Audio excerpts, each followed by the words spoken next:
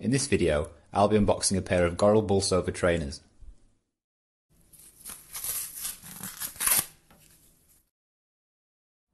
But first, here's a brief overview of the Goral brand.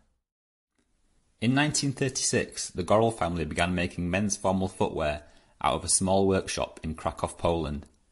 It became that successful that the whole family, including the children, worked on the manufacture and distribution of the shoes. Fast forward to 2005, the family moved to Sheffield in South Yorkshire and established a new setup. From their workshop in Sheffield, they now craft high quality footwear for a variety of British fashion brands, as well as their own line of Goral shoes. Goral are powered by a team of shoemakers who mostly moved to the UK from Poland. As a descendant of Polish immigrants myself, this puts a big smile on my face. Each and every pair of Goral's own line shoes are made to order.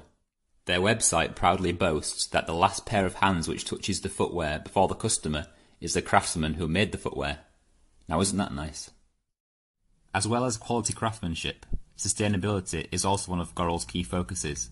Where possible, they source their materials from local suppliers. For example, they work with tanneries in Leeds and Yeovil, and also source their packaging from Northampton. Goral also build their shoes to last. They offer a repair and resoling service, so their shoes never need to be thrown away. Okay, so let's get to the unboxing. So I'll be unboxing a pair of Goral's Boulsover trainers, which I believe are named after Thomas Boulsover, who was a Sheffield cutler, better remembered for being the inventor of Sheffield plate.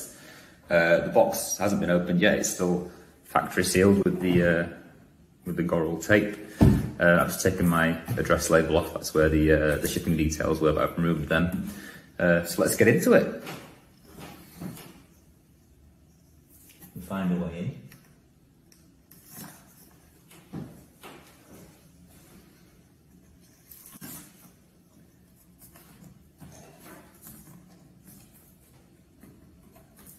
Trickier than I thought.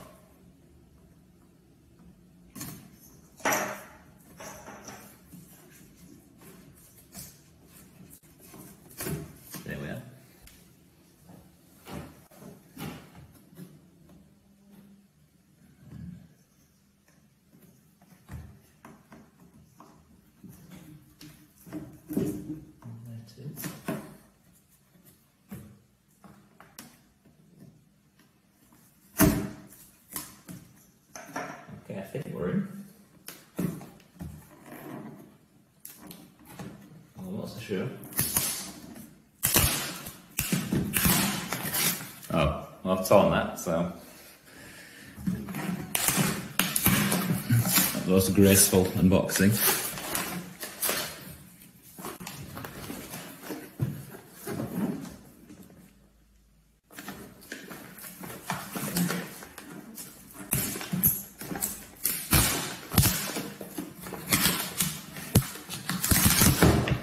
Definitely a secure package though. Oh wow, look at that. So uh, on the lid of the box there's a little uh, thank you message and I guess that's the, uh, the Goral uh, factory team there in the photo. See what, there's a great smell of um, new shoes coming out of this box which is, uh, which is really nice. Uh, so let's get into the main event.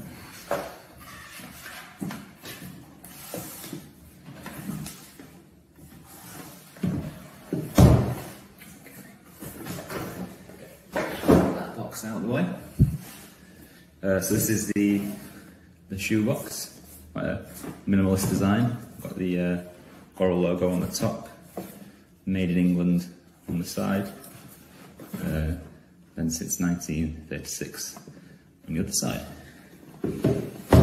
Okay, let's take a look, shall we?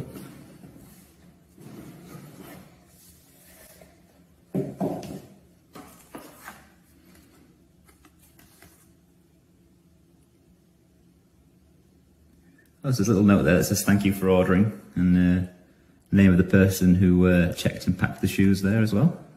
It's a nice touch. What's this? Oh, this must be a, uh, a dust bag uh, to store the shoes. It's nice, uh, nice way of adding value. I know that uh, our bedroom and now where I store our shoes get very dusty, so this will be going handy definitely.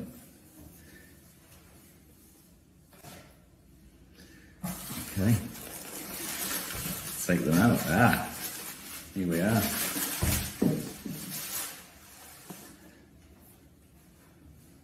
So as you can see, uh, the Boulsover are a pair of uh, white leather uh, low top uh, trainers with a side stripe uh, detailing there. Um, leather uppers uh, as well as a leather leather lining inside. Um, the laces are waxed waxed cotton, I believe. Um, as you can see, like a very clean and, and versatile trainer, which will no doubt work with a variety of, of outfits as, as, as white trainers tend to do. Uh, what the smell, amazing. Like the, the, new the new shoe smell is, uh, lovely. Yeah, so there we go. Goral Boulsover trainers.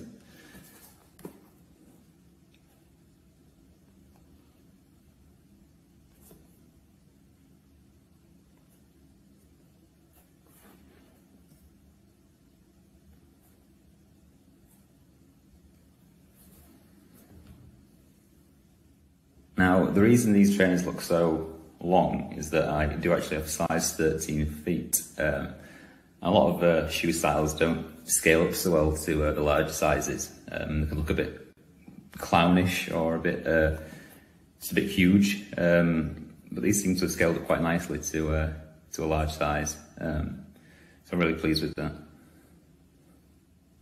If you'd like to find out more about Goral and their unique ways of working, head over to their website where you'll find some fascinating behind the scenes content. I also recommend checking out their YouTube channel. In their recent videos, they've been experimenting with materials and trying to find out what can and cannot be made into a shoe. For example, they've tried to make shoes from high-vis jackets, as well as old Fred Perry polo shirts, uh, and also a stuffed Peppa Pig. Um, so do check that out, it's quite interesting. Thank you for watching this video, I hope you enjoyed it. Bye for now.